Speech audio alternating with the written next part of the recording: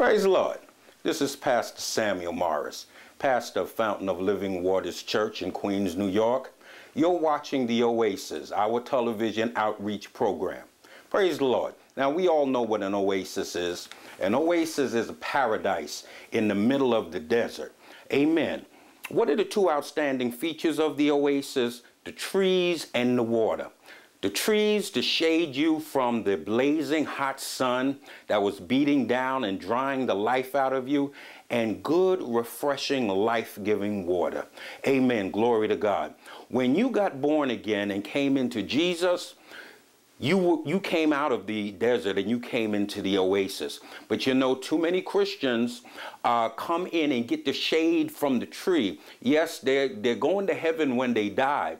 Amen. But they never partake of the life giving waters. They don't get the vibrancy of the Christian life that's supposed to be lived today in the earth.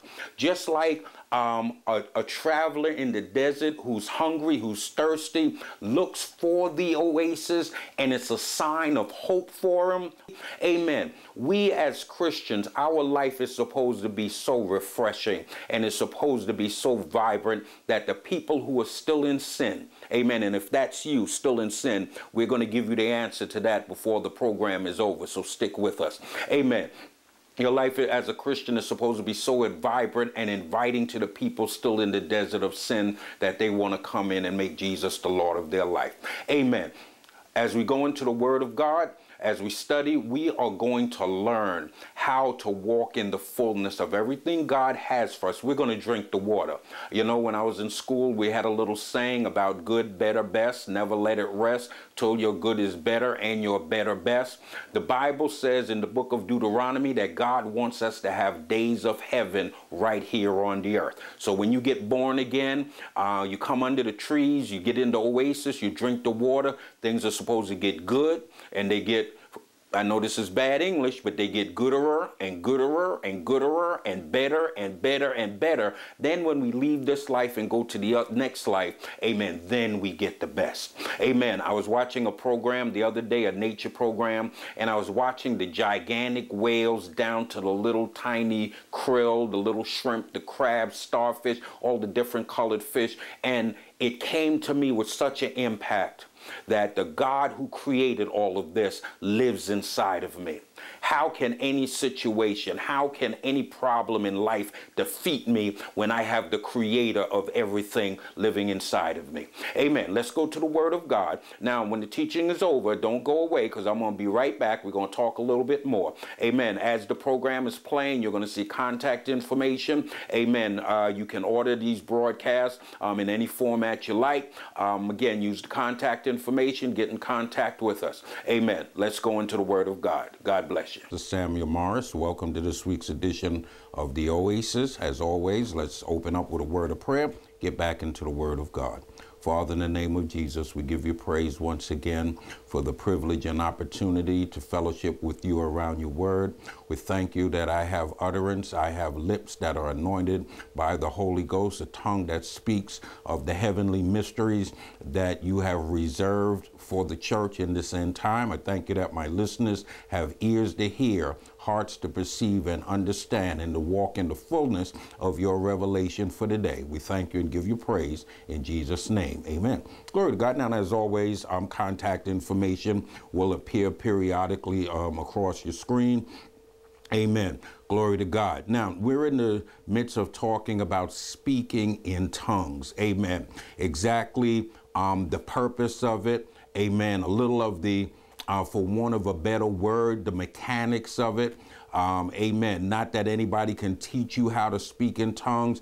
Amen. But um, what are tongues for? Amen. Or, uh, you know, we know um, that they are the initial evidence or a sign that you've been filled with the Holy Spirit. But is that it?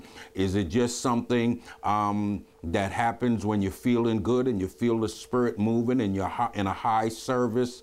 Amen. Um, at church and you know you just bubble over and it comes out in tongues. Is that all tongues are? No, my friend. Tongues as everything God does, God gives everything for a benefit, and it's for our benefit. Understand, my friend, everything that God does He does it for our benefit because God is complete. He doesn't need anything. Everything that God does, He does it by His grace, by His gracious love, because He loves us, and it's for our benefit. And tongues falls right into that category. We were looking um, at um, Acts, the 10th chapter, and we pointed out that Cornelius and his household were filled with the Holy Spirit before they were baptized. Amen. Glory to God. So that kind of puts a hole into people's doctrine who says that you can't be filled with the Holy Spirit unless you're baptized. That's not so, my friend, because we see an instance of it happening in the Bible. Now, to make it fit their doctrine, people will try to explain it away, say, well, that was just a special thing. That was one time, blah, blah, blah, blah, blah. But the Bible doesn't say that. Amen. The Bible just says that as Peter spoke, the Holy Ghost fell, and they started speaking in tongues and giving glory and giving praise to God. Amen. Now, one question that I want to um, that we didn't talk about last week, and I want to bring it up before we um, leave here. Um, we looked at um, Mark 16 and 17, and uh, 16 and 16, 16 and 17. And again, as always, the correct scripture appears um, underneath me while I'm talking. Amen. So you're interested in looking it up. The correct um, scripture location just appeared on your screen. Amen. Jesus said these signs will follow. Now, uh, we've been um, doing, um, this is about, uh, about the fourth or fifth broadcast in that we've been doing this um, particular topic of focusing on speaking in tongues as the Spirit gives utterance. Now, in the first um, session along this progression, we pointed out that one of the things that tongues were, that tongues are a sign. Amen. And what does a sign do? A sign gives direction. It shows that things have changed. We point out how highway signs tell you, amen, um, speed limit was 65, but it's getting ready to drop back down to 55.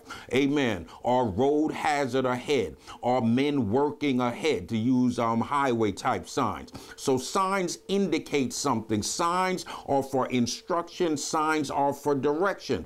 So it says here in Acts 10, um, 45 and they of the circumcision were, which believed were astonished as many as came with peter because that on the gentiles also was poured out the gift of the holy ghost for or because they heard them speak with tongues and magnifying god Okay, now the question is what I want to pose to you is how did they know they were magnifying God?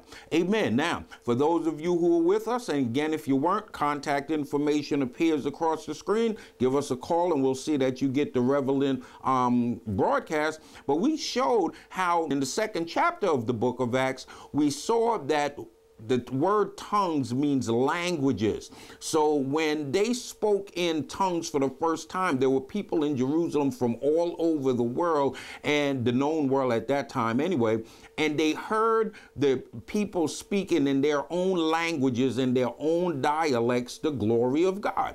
Amen. And it goes in the list of Acts, it goes into an extensive list about all the different countries and nations that were represented there on the day of Pentecost and how each one heard them praising and magnifying God in this their own particular language. Then when Peter got up and spoke, I believe he spoke in um, the one language that everybody was speaking probably Latin or Greek. Amen.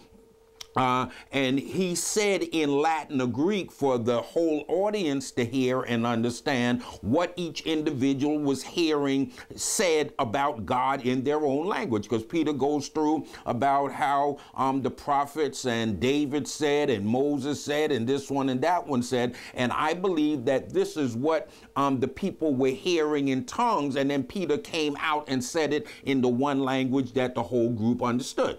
Amen. So here I believe the same thing happened. Um, Cornelius was Italian. Amen. Um, probably spoke Latin. Amen. That was probably his um, native tongue. Amen. Because he was of the Italian band. Peter and the rest of them, they spoke Aramaic or Hebrew, uh, type of Hebrew. Amen. Um, So um, now again, because Rome had conquered um, the land of Israel and the known world at this time, amen, everybody had to learn the language of the conqueror, which was Latin. So definitely Peter, James, John, the Jews that went down there, they spoke and understood Latin. Amen. And Cornelius, um, he understood Latin, probably didn't understand Greek or Aramaic. The scripture doesn't go on to say, but because he was a centurion of the Italian band, he was the conqueror, as it were. It wasn't incumbent on him necessarily to learn the language of the conquered. Amen. Maybe if he wanted to know what they were saying when they spoke in their language, and when they thought he couldn't understand it, he would learn Hebrew or Aramaic. Amen. But as far as having to communicate, no. Amen. It was the responsibility of the conquered to make sure that they understood the conqueror, or they would lose their life. They could lose their head. They lose their property. All right.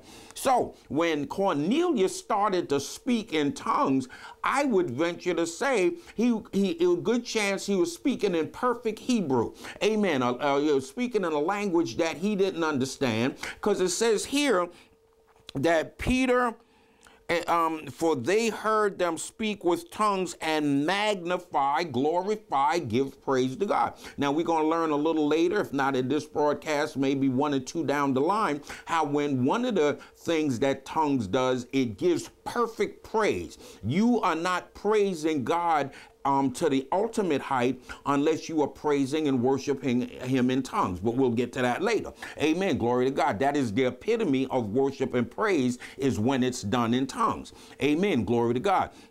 So I believe that here, as Cornelius is speaking, one of the signs, one of the reasons that they knew that this was a legitimate tongue that came from God is because here is this Italian man, and he's probably never learned um, whatever language he was speaking, he didn't learn it, but these men were able to tell that whatever language it was, amen, that he was giving God perfect praise. Amen. Now, another point, um, if he wasn't speaking Hebrew when he was speaking in tongues, whatever language he was speaking, God gave the um, apostle and the people that were with Apostle Peter, he gave them the interpretation of tongues. Why do I say that? Because it says here, for they heard them speak with tongues and magnify God. Uh, they heard them speaking with tongues, also magnifying God. Amen. That word and means and, but also a number of different things. So we could substitute those words in there. And if you have different translations of the Bible, it does that.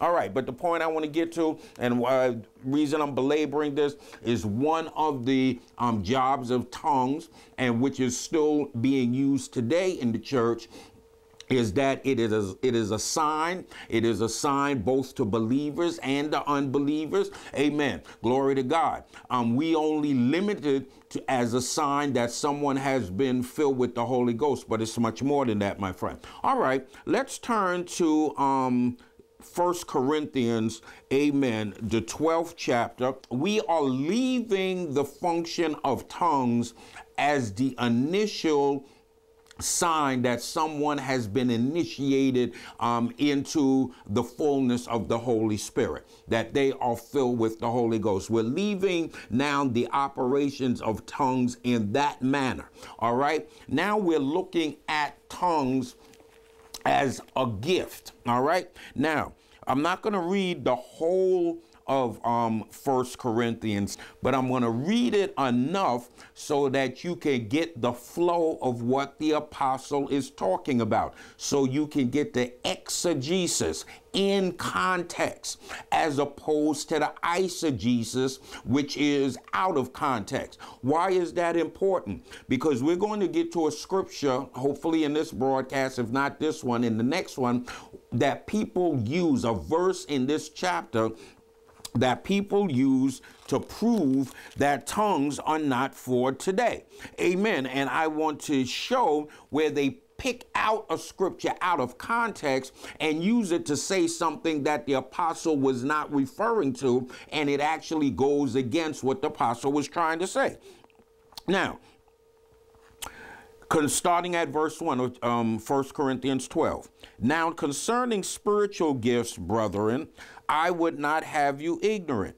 you know that you were Gentiles. So that lets us know that the Corinthian church was a Gentile church. So when Paul is talking to them, he might talk about things about the law, which they probably knew about and understood some tenets, but he was not telling them that they were under the law because they were not Jews, they were Gentiles. So the law had nothing to do with them, but that's that's another issue. You know that you were Gentiles, were past tense. No more in Christ, there's no more Jew nor Greek. There's no more Jew, Gentile, male, female, bond to free. Amen. Glory to God. You know you were Gentiles carried away with these dumb idols, even as you led. Wherefore I give to you to understand that no man speaking by the Spirit of God calleth Jesus a curse. And no man can say that Jesus is the Lord, but are except by the Holy Ghost. Now, this is what we're talking about here in this chapter. So we have to keep it in context. Now, there are diversities or differences of gifts, but the same Spirit. And there are differences of administration, but the same Lord. All right. And there are diversities operate of operations, but it is the same God which worketh all in all. But the manifestation of the Spirit, the gifts, is given to every man or woman, to everyone to profit withal, or to profit the body. See, your gift, whatever your gift is, was not given to you for you. It was given to you for the body of Christ in general and for your local congregation in particular. Amen. Glory to God. You know, we're here and we're doing this broadcast, and everything that we're doing runs by electricity. Okay, now, um, if you if you know know anything about the electric electrical grid, amen. At least here in our area in New York, everything is above ground, amen. So on the electric lines, ever so often you see a big box transformer, and if one of those boxes ever blow out, you have a funny smell and you lose power in that area. That's a, a step down transformer. It's a transformer. Okay, now I have in my house. Um, because this is the United States, we use 115 to 122 or so volts AC current at 60 cycles, 60 hertz. That's our power. Okay, now that's why those of you who might be from Africa, you get here and you bring appliances or something and they don't work. Or if you want to ship something back home to Africa or you want to ship something to the Middle East, you have to make sure that it's 110, 220 because over here we use the 110 over. Uh, 60 cycle. Over there in Europe, they use um, 220 or 50 cycle. Amen. And if you ever bring something from over there and plug it in, there's a good chance you saw smoke coming out of the thing. And if you take something that was made to be used in the United States, amen, and you take it over to Africa or the East and you plug it in, there's a good chance you saw smoke. So if you're going to send stuff back home, you got to make sure that it works on the current that works at in your country. Amen. But the point I want to get to is that I am connected to the grid. All right? If the grid goes out, I lose power. However, I am not connected directly to the grid. What do I mean by that? Okay, I plug in my power of these lights or whatever, I plugged them into the wall. They go down into the basement and it goes through a circuit breaker. Amen. Now, the circuit breaker is so if there's a short or something, or if you're older house, you have a fuse box, does the same thing, except the fuses have to be replaced if they blow. Circuit breaker, um, unless they go bad, you just flip the switch and it cuts back on once you remove the fault. Amen. Some of you have the little outlets in your bathroom or in the kitchen, different places, um, called the ground fault outlet. Amen. You see the little buttons on there, and if you hit the button the wrong way when you plug something in, you lose power. So that means right there at that outlet, there's a little circuit breaker in there. So if you plug something in that shorts out, instead of blowing that circuit breaker, the fuse for the whole line, it just cuts that outlet off until you unplug, amen, whatever is causing the problem. Anyway, But most people um, definitely have the fuse box or the circuit breaker, if not the little ground fault interrupter circuit in the um, in the wall. All right, so I'm connected to the wall, and it goes down into the basement. It goes through the fuse box. It goes through the fuse box, and it's connected. We see the wires coming out of the house, going up to a transformer. Okay, now on the other side of that transformer, it may not necessarily be 120 volts. It's probably higher because what those transformers do, a little um, electronics, a little magnetism here, a little visiting of the electromagnetic spectrum. The reason we use AC power is because you can transmit AC over long distances without losing power. DC doesn't work like that. Um, if you've ever had the experience of trying to boost your car battery, and let's say that because of parking or whatever, um, the person who's trying to give you the boost can't get right up close. If you've ever tried to take two sections of um, of jumper wires. You get you got a pair of jumper wires and I got a pair of jumper wires and we try to tie them together over a long distance. The car, unless that other battery is very powerful and yours is not that bad, it's not going to work. Why? Because what happens is is that DC current is dropped along that wire. That wire has resistance and technically for those of you who might be who might work on the grid might be aligning linemen, it's called IR losses, current and resistant losses. So what happens as the DC um, current is coming down the line, amen, the resistance in the wire eats up the current. So by time it gets to the end, if it started off, let's say 120 volts, before it goes too far, it won't be any volts because the wire eats it up.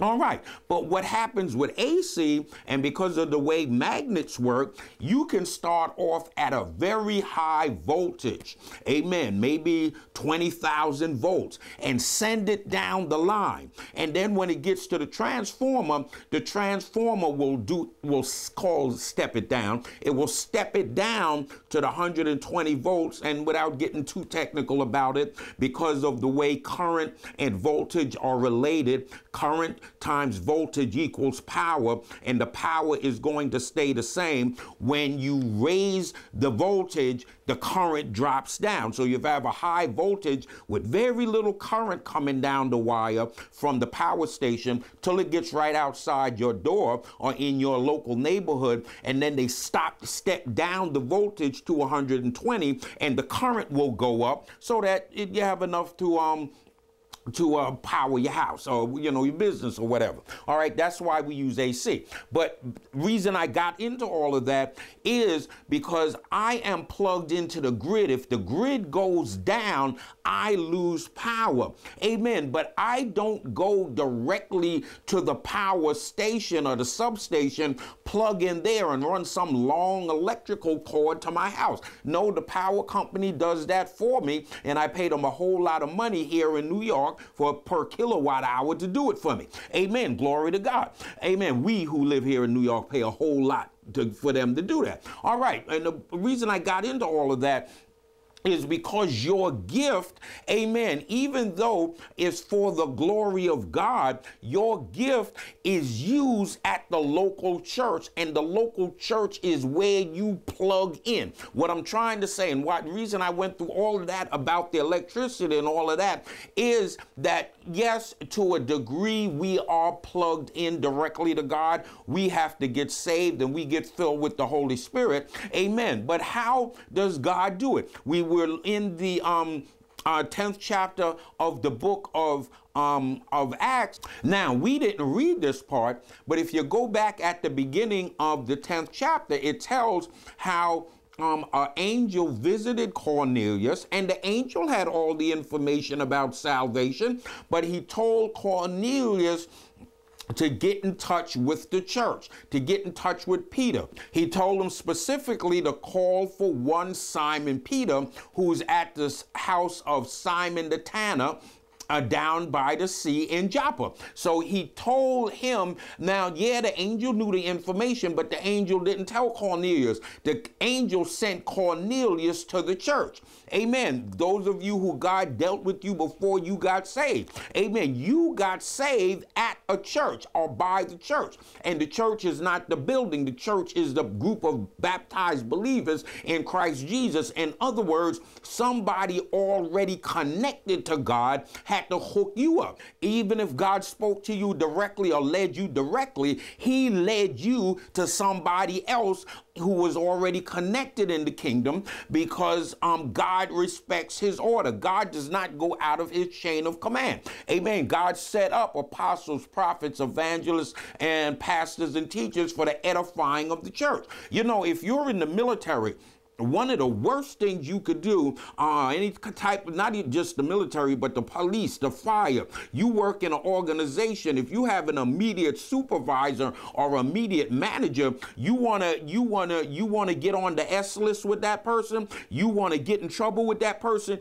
You don't go through them. You go around them or go over their head. You break the chain of command. I was working for a company one time, and I did that. I didn't go. My manager didn't give me the answer. I I like. Amen. And I went, I didn't just go over his head to his manager. I went to the head of the company. Amen. And, you know, me and that manager didn't get along um, very well after that. Amen the rest of the time I was on that job, I had a, a, a tough um, road to hoe. Amen. Because I broke the chain of command. Amen. Glory to God. So God honors his chain of command. He put the church here, and we get saved through the church. And praise the Lord. Hope you enjoyed the teaching today. Uh, if you like a copy of today's program, just use the um, contact information that's appeared on your screen. Get in contact with us. Amen. Um, Get in contact with us also if you would like to join us, uh, be a part of a ministry, be a part of this great teaching. Amen. Give us a call and we'll give you the pertinent information about where, when, how, why, and all that good stuff. Amen. If you're not born again, let me invite you to come out of the desert of sin. Amen. Because you're going to die out there. Amen. Glory to God. But Jesus came so that you can have life. If you're tired, if you're sick, sick and tired of living the way you've been living, and uh, getting beat up by the devil, it's easy. Uh, let me change that. It's not easy. Jesus did the hard part. Uh, he left the easy part for us. All you have to do is accept him. Something as simple as saying, Lord Jesus, take my life and do something with it. Something as simple as saying, Lord, I know um, that I'm a sinner and I need help. I can't save myself. I ask you to forgive me, wash me in your blood, come into my life and be my Lord. It's as easy as that, my friend. And listen, if that's the decision you've made today, you took the first step on a journey of a thousand miles. You need to be in a good church home. Wherever you are in the United States, you give us a call and we will be able to direct you to a good church in your area. Until next time, this is Pastor Samuel Morris and the Oasis. God bless you.